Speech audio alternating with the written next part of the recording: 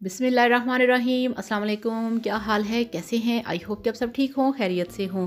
मैं हूँ मारिया अंसारी और ये है आपका अपना YouTube channel, Maria Ansari food secrets तो आज हम बनाएँगे गाजर का मुरब्बा, जो कि सर्दी की एक बेहतरीन डिश है, बहुत मज़े की रेसिपी है, बहुत मज़े की चीज़ है, स्पेशल सर्दियों की सौगात है। तो गाजर का मुरबा बनाने के लिए हमारे पास तीन किलो गाजरें हैं, जिसको आपने इस तरह से पतला पतला लंबा लंबा काट लेना है। तो चलिए बिस्मिल्लाह करते हैं, शुरू करते हैं और वीडियो शुरू करने के साथ साथ प्लीज़ आप सबने चैनल को लाजमी सब्सक्राइब करना है।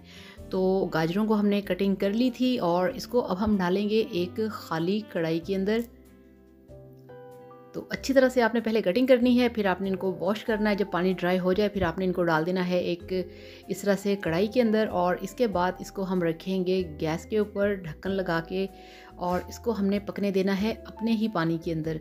इसके अंदर आपने पानी नहीं डालना। अगर आपको फील हो कि पानी की ज़रूरत है तो आप इसमें जस्ट एक कप पानी या एक गिलास इससे ज़्यादा नहीं, इतना पानी डाल के आप इसे पकने दें पंद्रह से बीस मिनट के लिए।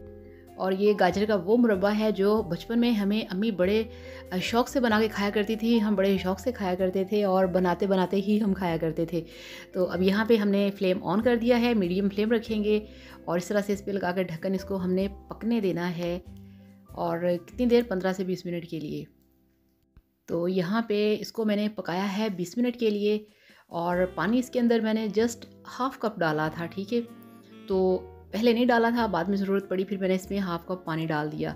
और यहाँ पे जो गाजरें हैं वो बिल्कुल गल चुकी हैं, तैयार हो चुकी हैं। अब इसमें हम डालेंगे हाफ़ के जी चीनी, ठीक है? तो ये हमारे पास आधा किलो चीनी है, इसमें हम डाल देंगे। तो यकीन करिए, ये आपका गाजर का मुरब्बा जो है, बड़ा मज़ेदार बनने वाला है। अगर आपने आज तक इसे ट्राई नहीं किया तो आप इसे ज़रूर ट्राई करिएगा, आपको बहुत मज़ा आएगा। और जो लोग बना के खाते हैं, जिनको पता है, उनको तो पता है कि ये बहुत मज़े की चीज़ बनती है। तो इस तरह से आपने गाजर और चीनी को अच्छी तरह से मिक्स कर देना है। और मिक्स करने के बाद आपने यहाँ पे इसको फिर ढक्कन लगा के इसको आपने थोड़ी देर के लिए पकने देना है, पाँच से दस मिनट के लिए, क्योंकि जो चीनी है वो पिघलेगी थोड़ा सा पानी छोड़ेगी और फिर उसी के अंदर जो चाशनी है वो तैयार होगी। तो इस तरह से आपने इसको मिक्स करना है। तो ये देखिए, यहाँ पे इसको मैंने पकाया है आठ से दस मिनट के लिए, नॉर्मल, मीडियम फ्लेम के ऊपर। और इसके बाद ये देखिए इसका कलर चेंज हो चुका है और जो मुरब्बा है, गाजर का मुरब्बा हेल्दी मुरब्बा वो तैयार हो चुका है और इसकी चाशनी भी है। चलिए इसको उतार के आपको दिखाते हैं इसकी फाइनल लुक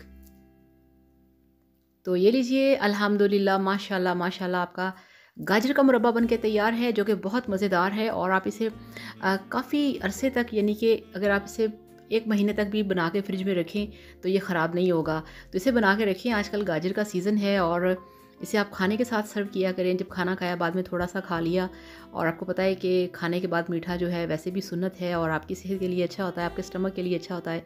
तो बहुत ही मज़ेदार, टेस्टी, हेल्दी गाजर का मुरब्बा बन के तैयार है। तो इस तरह से बनाइए, खाइए इन्जॉय कीजिए वीडियो को लाइक और चैनल को सब्सक्राइब करिएगा। Thank you so much. कोई भी कमेंट करना हो, कर सकते हैं। आपको मिलता है आपके हर सवाल का जवाब। तो थैंक यू सो मच। अल्लाह हाफिज़। Bye bye.